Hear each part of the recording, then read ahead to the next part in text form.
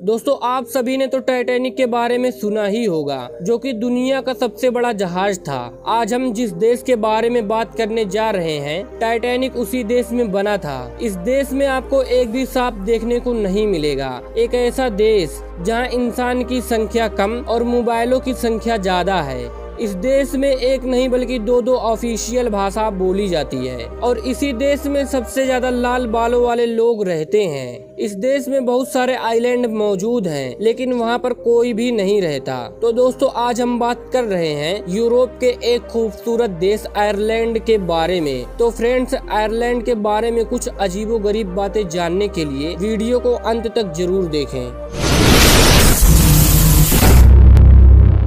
दोस्तों आयरलैंड का official name है रिपब्लिक ऑफ़ आयरलैंड इस देश में 50 लाख लोग अपना जीवन गुजार रहे हैं। दोस्तों, अगर बात करें पॉपुलेशन डेंसिटी की तो यहाँ पर बहत्तर लोग पर स्क्वायर किलोमीटर में दिख जाते हैं। यहाँ पर तकरीबन तिरसठ प्रतिशत लोग शहर में रहते हैं और सैतीस प्रतिशत लोग गाँव में रहते हैं। दोस्तों, यहाँ के लोग चाय खूब पीते हैं। यहाँ के लोगों का मानना है कि आप चाहे जितनी भी चाय पी लो, आपको कुछ नहीं होगा।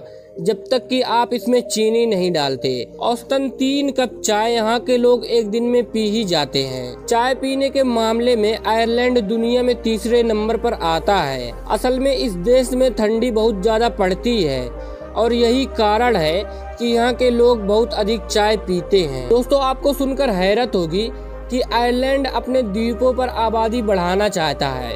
जिसके लिए वह लोगों को वहाँ पर रहने के लिए पचहत्तर लाख रुपए देता है। यानी कि कोई भी इंसान वहाँ पर बसना चाहता है तो वहाँ की सरकार उसे पचहत्तर लाख रुपए देती है। दोस्तों, आपने टाइटेनिक का नाम ज़रूर सुना ही होगा, जो कि कभी न डूबने वाला जहाज़ था और वो इसी देश में बना था। आयरलैंड में भी हमारे देश की तरह प्रधानमंत्री के पास बहुत ज़्यादा ताकत होती है, जबकि राष्ट्रपति के पास ज़्यादा कुछ नहीं होता।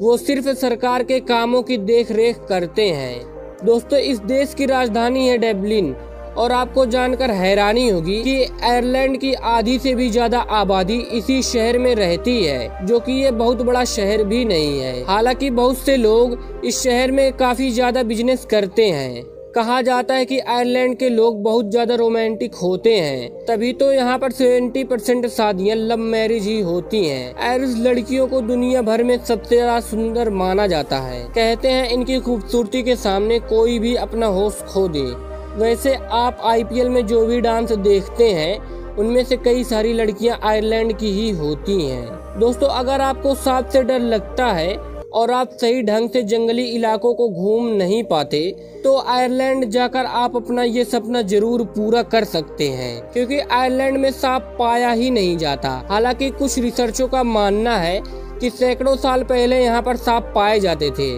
लेकिन वैज्ञानिकों का कहना है कि आयरलैंड के इतिहास से लेकर आज तक कोई भी सांप नहीं पाया गया।